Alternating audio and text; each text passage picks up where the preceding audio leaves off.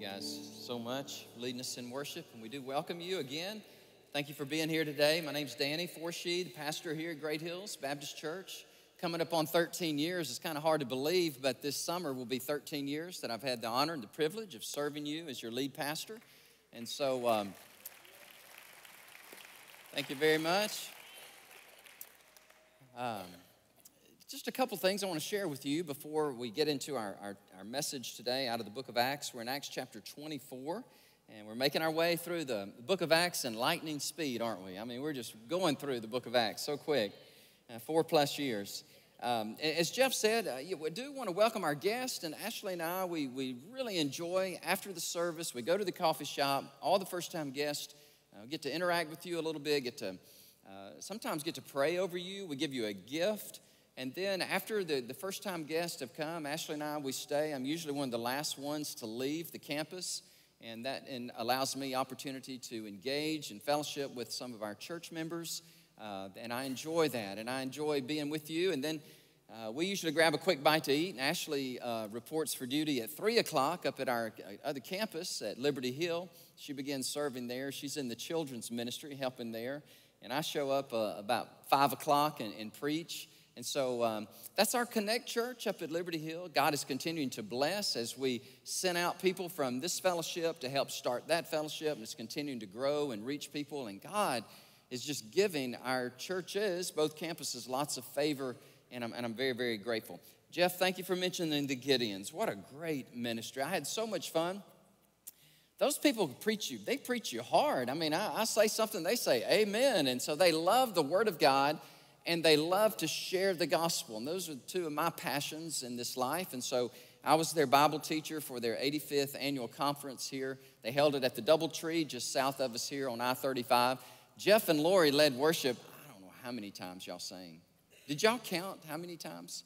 I mean, it was at least a dozen, a dozen times. And they were the featured worship leaders, and I was privileged to be able to preach God's word. And we have many Gideons in our ministry, in our church, and I appreciate them so uh, very much. And if you would, help us support them. This is such a worthwhile, powerful ministry of distributing the gospel, sharing the New Testament uh, all over the world. And so, God bless you, Gideons. Last thing I want to share with you, I did another What's Next video, and it's out, uh, it should be in your mailbox at home, not in your physical mailbox, but in your email mailbox. It's about 11 minutes, so it took me a little bit of time, but I'm trying to share with you, especially uh, just trying to share with you some of the excitement and some of the things that are going on as far as what's next, what we're planning, what we're praying about, and we're real excited about that. And it will also be on our website. If you want to go on our website and check it out, that would be that would be great. All right, we're in Acts chapter 24. I'd love for you to open up your Bibles, open up your heart, your mind to receive God's word to you today. Like uh, Jeff, I've been struggling with these allergies. I had a sneezing attack yesterday right before I preached, and that was a lot of fun. If you've ever had that happen to you, right before you're supposed to speak, you just, I mean, I could not quit sneezing. But y'all pray for me and my voice. Jeff, I could sing bass today, brother. I'm telling you. I, and tonight, I could sing double dose bass, you know, be really low. So we're in the book of Acts. We're in chapter 24. Last week, we were studying the prosecution of the Apostle Paul. You say, really?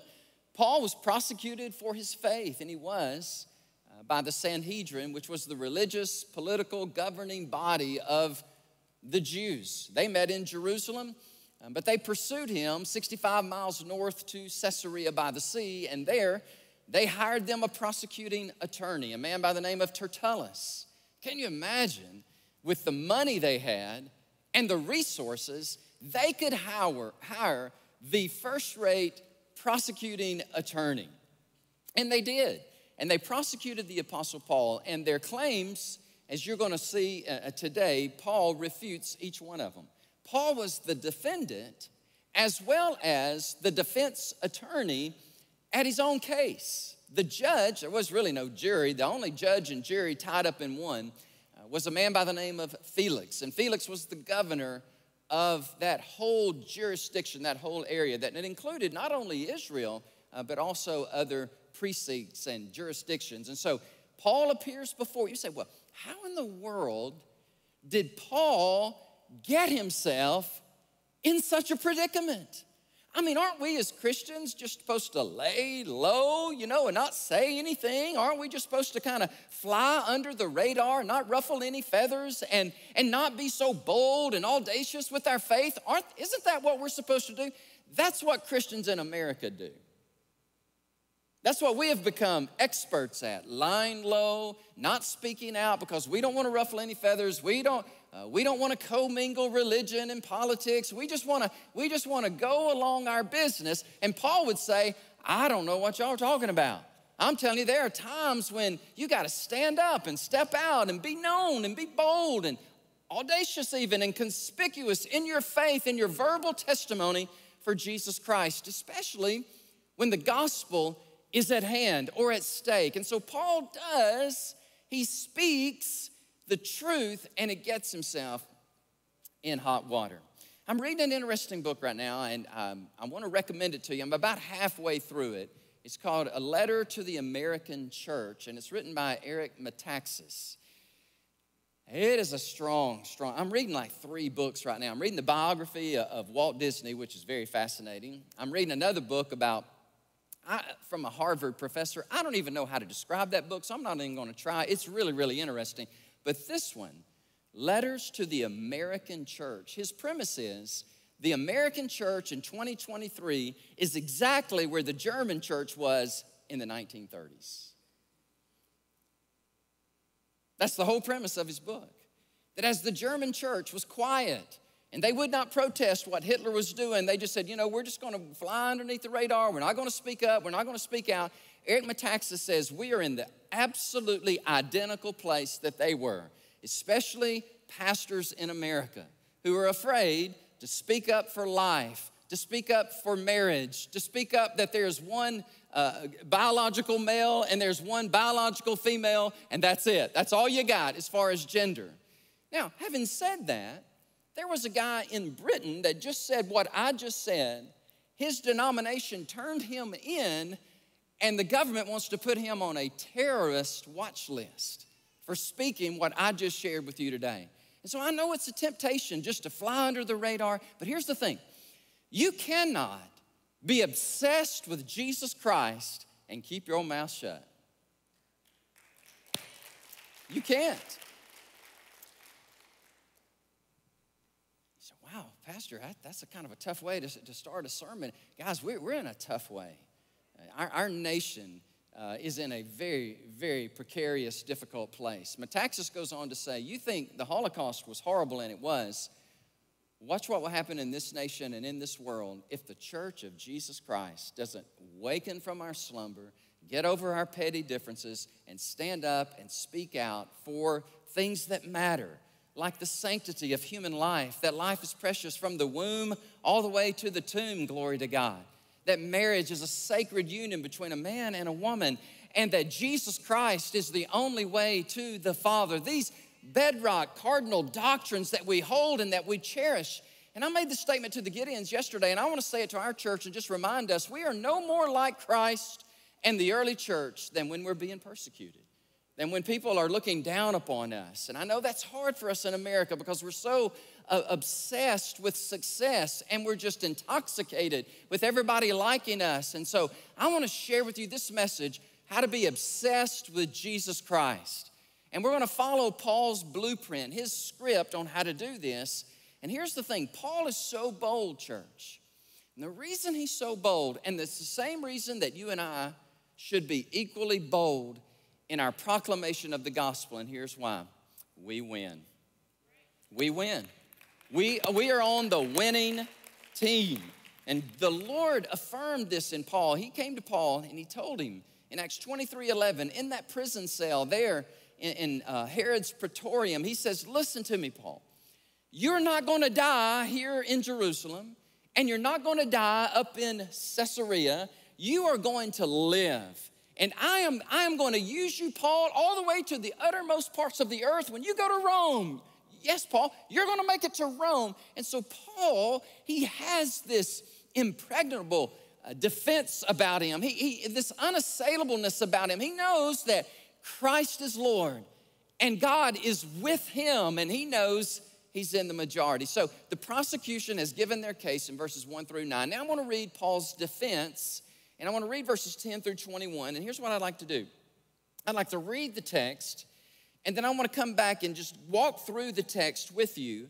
And then I want to close the message today with four practical things that you and I can take away from the message today that I hope uh, that will encourage you as a follower of Christ and will also help you emulate what Paul did when he was falsely accused by the Sanhedrin, by Tertullus, the, the prominent lawyer of their day.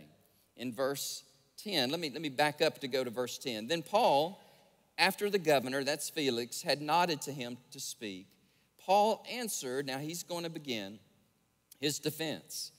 Inasmuch as I know that you, Felix, have been for many years a judge of this nation, I do the more cheerfully. Oh, that word cheerfully. Paul is in prison, but his spirit is free. Uh, he, he is in extenuating, painful, difficult circumstances, and yet he has this cheerfulness about him, this joy about him. He says, I will respond to you, Felix, cheerfully, and I will answer. Apologia is the Greek word. I will answer for myself, because you may ascertain that it is no more than 12 days since I went up to Jerusalem to worship. And they neither found me in the temple disputing with anyone, nor inciting the crowd, either in the synagogues or in the city. Nor can they prove the things of which they now accuse me. But this I confess to you that according to the way, come on now, the way, that, that is code for followers of Jesus. They have been accused of being a sect or a heresy. Uh, they follow the Nazarene. And Paul says, no, we follow, we're part of the way. Jesus Christ is the way, the truth, and the life, which they call a sect. So I worship the God of my fathers, believing all things which are written in the law and in the prophets. I have hope in God. Church family, what does Paul have in God? Say it one more time. Say, I have hope. Isn't that awesome? You say, well, how can I be cheerful and how can I have hope when I am incarcerated or when I am in pain or where I'm in a very difficult situation in life? How in the world can I be cheerful and have hope and peace? When you're obsessed with Christ, you can. When He is your all, when you love Him and you know Him and you're walking with Him and you're willing to, be, to even suffer for Him, I'm telling you, Almighty God comes to your aid. He gives you peace. He gives you joy and cheerfulness, even in the midst of your conflict, even in the midst of you being accused falsely. I have hope in God, which they themselves, they also accept that there will be a resurrection of the dead, both of the just and the unjust. This being so, Paul's still giving his defense. I myself always strive only time that word is used in the entire Greek New Testament, the word askeo, strive. It's an interesting word. I strive, Paul says, to have a conscience without offense toward God and men. Now, after many years, I came to bring alms and offerings to my nation, in the midst of which some Jews from Asia found me purified in the temple, neither with a mob nor with tumult they ought to have been, I love this. They ought to have been here before you to object if they had anything against me. Or else, let those who are here themselves say, if they have found any wrongdoing in me while I stood before the council, unless it is this. This one statement which I cried out concerning, he's standing among them, concerning the resurrection of the dead I am being judged by you this day. The prosecution and now his defense. Father, we thank you for your word. Thank you, Lord, for this. This defense that you gave Paul to make for his case. And Lord, we learn from him. We learn, first of all, how to get in trouble with the world because we stand for you. But we also learn from him, Lord, to have hope and to have cheerfulness and to have grace and peace in the midst, Lord, even of our imprisonment, our incarceration, our torture, our being misunderstood. that you, the Holy Spirit, greater is He that is in us than He that is in this world. Lord, I'm praying today. It's such a fascinating passage of Scripture. Thank you, Lord, for putting it on my heart to preach your word, to go line upon line, verse by verse, to share with your people, God, these precious, dear people called Great Hills Baptist Church, all of these people online, Lord, watching us from all over the world as they tune in to a message from the Word of God. May they, Lord, be encouraged. May their faith be strengthened, oh God. And may we all, when we walk out of this church building today, may we be even more resolute, even more determined to say, I will serve the Lord come what may. I will speak up, I will speak out. I will just allow God to be my defense, and I'm going to let the whole world know about Jesus. Lord, would you help us do this? We need you, Lord. None of us can do this on our own. We absolutely need you, and I need you, Lord. Would you help me now as I preach your word? In Jesus' name I pray. Amen. So, verse uh, 11, when you go back to verse 11, because you may ascertain that it is no more than 12 days since I went up to Jerusalem. What I want to encourage you to do is go ahead and get your Bible and open it up. Open your tablet, uh, open up your screen, whatever, because what I'm going to do is walk you through the Word of God. This is sort of like a homily, if you will. Homily in homiletics just means the pastor is going to walk you through Scripture. And I really encourage you just to take a pen or, or make a note on your tablet because I, I, I think as you, as you read the Word of God and hear the Word of God, I hope you've come today to learn, to exercise your mind, to worship God with your, with your mind. Paul's argument, his syllogism goes something like this Now, Felix, here I am. I am being falsely accused by the Sanhedrin. They are primarily accusing me of sedition and treason. Now, there's some things that Rome would absolutely not tolerate. They would not tolerate a troublemaker. If you tried to disturb the Pax Romana, the golden age of Rome, whoever you are, whatever religion you have, if you try to disturb the peace, they're going to come down on you with an iron fist. And Paul knows that. And Paul is like, he's telling them, look, I am not guilty of that. By the way, I've only been back in town for 12 days, for heaven's sake. How in the world in just the brief amount of time that I have, how could, how could I ever cause all of the disrupt, disruption, all of the dissension, all of this trouble that they are accusing me? Well, he got Felix's attention. Because Felix, he's rational and he's thinking, he's, he's probably asking, yeah, really? How in the world could they accuse you of being such a troublemaker and you've been you've only been back for like 12 days? All right, verse 12. Paul says, Nobody saw me doing the things that they are accusing me of doing. The charge of sedition, the charge of treason, as one writer says, was absolutely, categorically, totally false. Paul never sought to arouse the crowd to commit treason against Rome or to lead people in mass subversion to Rome. Now, Paul is in trouble not because he's a troublemaker for Rome, but because he is preaching the gospel. And these people are adamantly opposed to him preaching Christ. Who are those people? They are the religious leaders. They're the Pharisees, the Sadducees, they are the Sanhedrin. And here Paul is an outlier, right? He's preaching Christ boldly. He is talking about the resurrection from the dead. He's talking about that Jesus Christ is the way, the truth, and the life. And he has upset the Jewish leaders. All right, that's verse 12. Verse 13, they cannot prove the charges against Paul.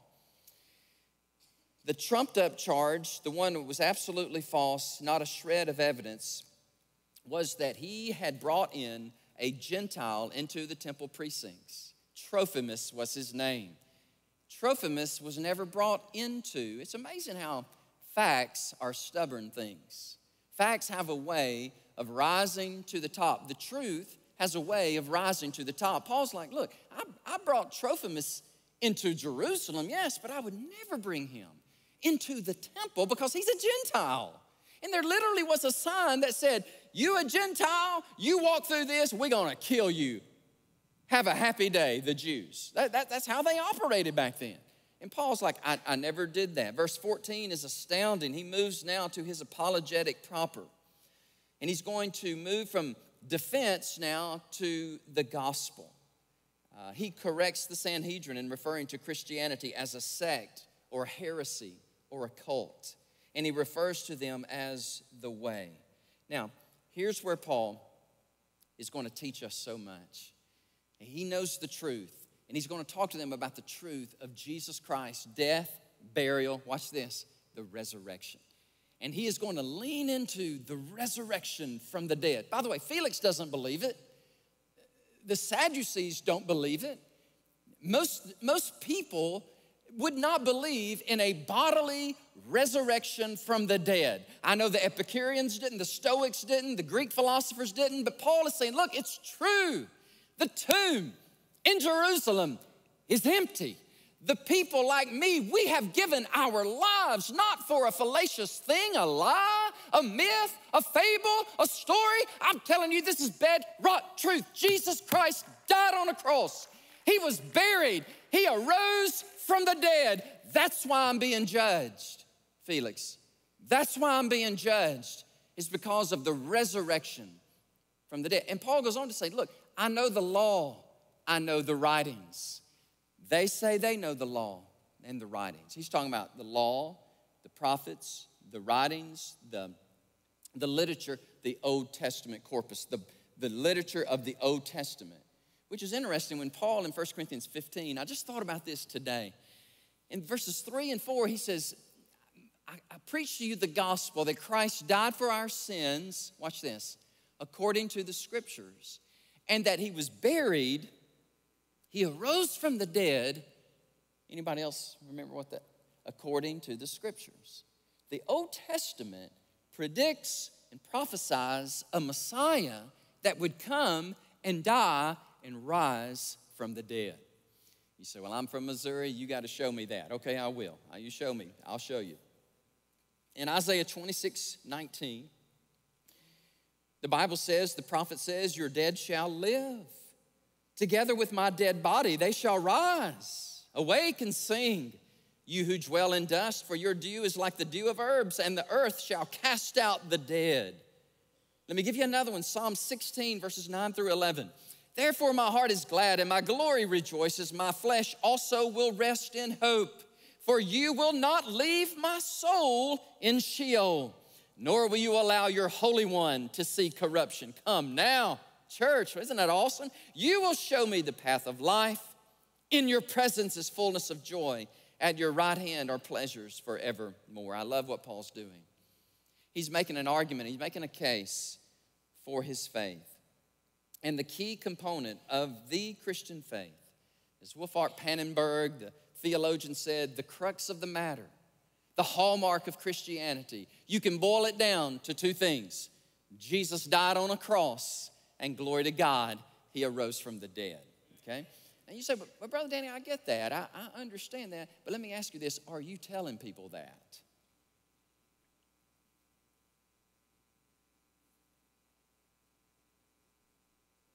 Are you telling people that the tomb is still empty? Are you telling them that there is a risen, reigning Savior in your heart that is empowering you to be the man of God that He's called you to be, to be the woman of God He's called you to be? You know, Paul, the reason he's in trouble is he's speaking, he's telling it, he's living it. And whenever you preach Christ and live Christ, whenever you're so obsessed with Christ, I don't care what millennium it is, what epoch of time, era of time it is, whenever you and I are passionate for Jesus Christ and we speak, it will get us in trouble. But I would rather be pleasing to God than pleasing to man any day. So let me just ask you again are you speaking that Christ is risen from the dead? If not, let me encourage you to incorporate this in your terminology, okay? In the way that you live. You got a wonderful opportunity two weeks from today we're going to celebrate like we celebrate every Sunday, but especially that day, it's Resurrection Sunday. So let's do what Paul does and let's get out and talk to people. I visited a man in a hospital one time, and when I walked in the door, he said, I just got to tell you something. Uh, I don't feel very well, And um, thank you for coming, but I don't feel very well. In other words, he was saying, I'm not just really thrilled that you're here, so if you're here, just pray and leave quickly. And I got that, you know. People can communicate, you know, verbally and non verbally. And so what I did, and I did this just a couple of weeks ago, well, actually a month ago in California with an Uber driver. Uber driver right here. Are you still driving Uber? Former Uber driver. So I did with him in California what I did with this gentleman in the hospital. In other words, I only had a brief amount of time and they said, Yes, you can pray for me. So, guess what I did? I prayed the gospel. Are you with me? Pray the gospel.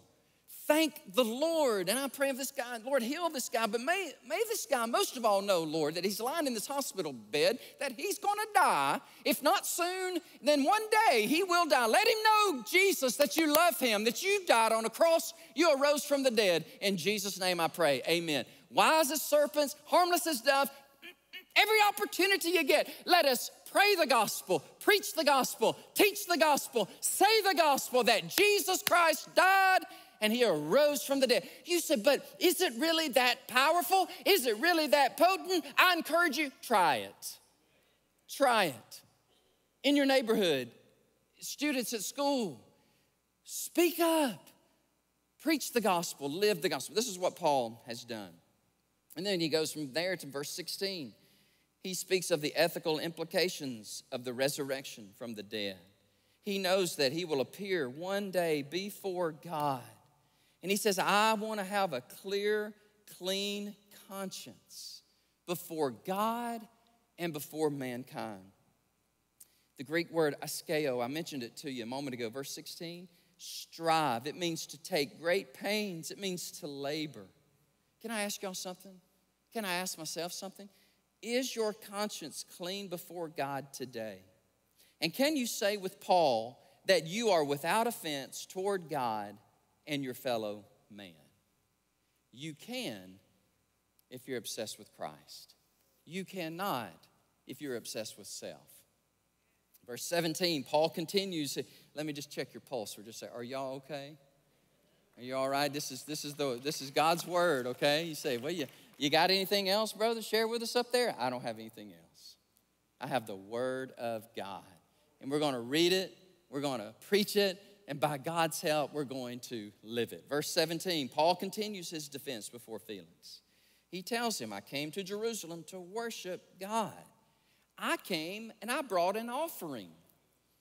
I don't know that there's a comical scene, but if there is one, it's this one. I'm gonna try to reenact it for you. Mr. Felix. I came, you know, I've been traveling Macedonia, Achaia, I've traveled the known world. I've been taking up an offering for my Jewish people because you know and I know that there's been tremendous famine and hardship in Jerusalem. And so I took up an offering and I brought it to my and I can see Felix going, say what? And looking over at the Sanhedrin going, really? You're mad at a guy that's brought y'all money? That's trying to help your own countrymen live. And I can see the Sanhedrin going, you know, just, they didn't have anything to say. But Paul's telling the truth. He, he could also say, I did not come for war, I came for worship. I came bringing my offering. I, I came because I love my country. I love my, I love my city uh, of Jerusalem. Verse 18, all right, we're almost done. Going to verse 21. Y'all hang in there. Verse 18, Paul refers to what happened in Acts 21 when the Jews from Asia came to the temple, accused Paul of bringing a Gentile into the precincts. He said, I, I, I never did that. Um, yes, you did. We know it as a fact. That's what you did. You brought that Gentile into this temple. He said, No, I did not. And, and, and by the way, where's the evidence to corroborate that? Why don't you bring the people in and let them confront me? You've got the facts. He said, There are no facts. Trophimus was a Gentile. I'm not about to bring him into the temple. Y'all would kill him. In your righteous anger, you would kill him. Furthermore, I took upon myself the vow of the Nazarite. I washed my body. I cleansed my life. I've been on foreign soil. I was contaminated according to your law. So I brought these brothers in. And if you can check the record, when we came into the temple, these four guys were with me. and I was not causing dissension. I was not saying anything. I was just trying to be obedient to God. I was trying to do the right thing. And, and, and is that not right? Sanhedrin, am I not telling the truth? And they couldn't say anything because Paul is telling the truth. Verse 19 was a devastating blow to the prosecution. Paul said the Jews who opposed him in the temple, they should be the ones accusing me. They're the ones should be here. Because I'm trying to tell you, these are the facts. This is what actually happened. I was there. Where is the corroborating evidence? There is none. Verse 20, then Paul points to the council and calls on them to point out any wrongdoing when he appeared before them in Jerusalem just a few days prior. In verse 21, Paul reiterates again, I love what he does. He closes his defense, still sharing about the resurrection of the dead. Now, the Sadducees would totally dismiss this. But the Pharisees, remember, they still believed in angels and demons and bodily resurrections. And so there Paul is. He closes out his, I think, very powerful case of defense for himself. One writer, one writer, Chuck Swindoll says this Paul was like a pit bull on a thief's leg. He was tenacious and he adequately defended himself. There are four things I want to close with. Uh, I'll, I'll be brief, but I think this will help you if you ever find yourself in a situation uh, like Paul, you never know. You know, you never know. You, you might be accused of being one of them at, at the job, you know. Or you might be threatened if you don't display a certain colorful rainbow across your desk.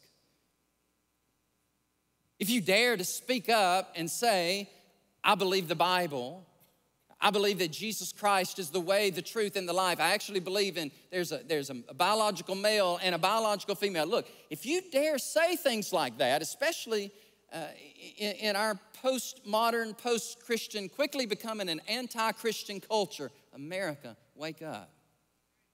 We've moved from postmodernism. We're almost we're very very close to an anti-Christian stance in many sectors in our nation. All that evil needs is for good men and women of God to be quiet. And if you and I will continue to be quiet, according to Metaxas, we're going to, we're going to reap in a judgment, a harvest that this world has never seen. So you never know. I might, I probably will before y'all. You might, but if we are in a situation like this, number one, when accused, remain calm and trust God. We don't read Paul stressed out, wringing his hands with worry. He already knows that God has made him a promise. God is going to be with him. God's going to walk him through his trial. So he is accused, that's right. He has been prosecuted, but he is calm and trusting, trusting God. I'm fighting a battle, Lord, that you have already won. 1 Peter 4:19, I want to encourage you with this verse, and it really encouraged me this week. Therefore, let those of you who suffer, if you suffer according to the will of God, come on now. I bet that Bible passage does not get many amens. You know what I'm saying? There, I am suffering. You, some of you are suffering according to God's will. Could it be God's will that I suffer? Yes. Yes. God, read the book of Job. Read the book and the, the, the, the, life of Paul. God allows this, and when God allows you and me to suffer, entrust your souls to a faithful Creator God and do good. Do good. Number two, give the truth and state the facts. Paul calmly gives the truth before his accusers, and he states those stubborn things John Adams called these stubborn things called facts. Okay? I got a text this week from a friend. He said, The truth will find its way to the top and expose the lies. Tell the truth. You don't have nothing to fear. Take advantage, number three, of every opportunity to share Christ. And this really has been uh, the, the, thrust of this sermon uh, today. I can study this text, I can write my manuscript, and I do every, every Sunday. But I just don't know how the Holy Spirit's going to take it and speak it through me to you but I'm finding that this is really the heartbeat of my message today. Take advantage of every opportunity and share Christ. Paul does this. He speaks the truth of the gospel, he speaks about the resurrection, even in the midst of a hostile situation. Um, he has the spiritual wherewithal to share Christ amidst false accusations. Can I encourage you to do that? Yes, it may cost you your job. Yes, it may cost you uh, your reputation. You might be accused of one of them. You may be accused of being, uh, you know, hateful and intolerant and, and mean and, and, and unworthy, unfit even to live. But you share Christ. And you say, before God, I'm striving that my heart and my conscience is clean before God and really before anybody. I don't hate anybody. I love the Lord, but the Word of God says, and this is the truth. Number four, enjoy and thank God for your freedom while you have it. Enjoy and thank the Lord for your freedoms. Last week I met with a a mom and her daughter from Iran. They may be here today. I'm not going to mention your name, but after the service, they came up to me and, and I got to meet them. They are, the mom is part of our ESL study. The daughter was pretty animated. She's very uh, bright, very educated in physics. And she told me, she said, um, You know, I have a lot of questions. And uh, she said, I'm from Iran. My mom is from Iran. My mom doesn't speak English, she's learning English. But here's something I would like to tell Americans. she said, You have no, absolutely no idea how wonderful you have it. She said, I come from the most repressive, oppressive regime known to man against women.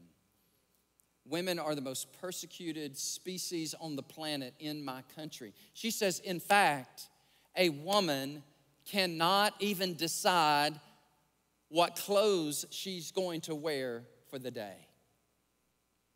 She has to be told by her husband that you can wear this, you cannot wear that, and she keeps her face covered and, and, and she just lives her life. She, and, and this lady, she goes, Look, I just wish I could tell everybody in America, you have it amazing. You have all these freedoms. And then we got to talk about the church, the underground church in Iran. And this woman, she told me, she says, Look, I have great respect and admiration for those followers of Jesus in Iran because if they are caught, if they are caught, it is the death of them. It is tremendous persecution. That same day, which was a week ago today, I went home and I got, an, I got a, a text from a former church member uh, they moved out of the, the city. They, they've, uh, they, they attend another church. I hated to see them go, but so is life, you know. life happens, you know. People come, people go. They join other churches closer to where they live, and that's exactly what she did. And she goes, We're hosting a, a group, the frontliners, and they work with the persecuted church around the world. Yesterday, they shared a video with us that less than 100 people have seen it due to the sensitivity of the material, it shows what God is doing in Iran with the underground church. It is absolutely incredible and is so amazing and it is encouraging. End of quote. Now, is that a coincidence that I get that text the same morning that I hear this lady from Iran, from the same country, and what, what I would say to us is we really, really ought to enjoy, thank God, and appreciate the freedoms that we have. I think freedoms that are being encroached upon, and I would not be surprised in my lifetime that these freedoms are taken away. Can I say that again? Freedoms that we should enjoy and appreciate, freedoms that are being encroached upon day by day, and very possibly in my lifetime will be taken away from us. And I don't know if this is a prophetic message. All I know is we need to wake up. We, we, need to, we need to speak up. And we need to quit being so so timid and so so entrenched in sin ourselves that we don't have the moral authority to speak up for what we really believe. I think that's really at the heart of, of the matter. That some of us, some of you are walking with God, but it's such a guilty distance, you're ashamed to speak up because your life is not commensurate with the profession that you're making. If that's your case, can I just say, I hope this message helps you. I hope it convicts you. I hope it brings you to a point. Jeff, we were praying about this earlier a point of repentance.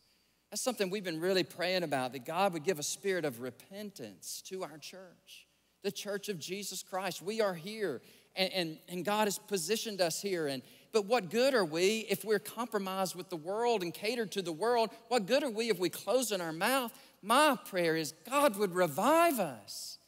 God would spark within us a, a, a joy and a cheerfulness to stand for Christ, speak His name, tell people, I'm not ashamed. Christ arose from the dead. He died on a cross, publicly humiliated for me. The least I can do is to have you look down upon me. And I'm going to stand for Christ. And I'm, I'm through with my message, but I'm, I'm pleading with you. I'm pleading that the Spirit of God would speak to you. Lord, would you speak to us? Lord, this is your word. You, you have preserved it for us. And Lord, I'm praying that you would speak to your children, those of us who know you, Christ, those of us who are absolutely the silent majority. Would you infuse us with vigor and with power and conviction? Not that we would be mean in any way, but we would be gentle as a dove. But, but Lord, we'd be, uh, we, we would speak wise as a serpent, harmless as a dove, befriending those who, who believe differently than us, loving them into your kingdom, speaking the word of God, speaking the truth of God.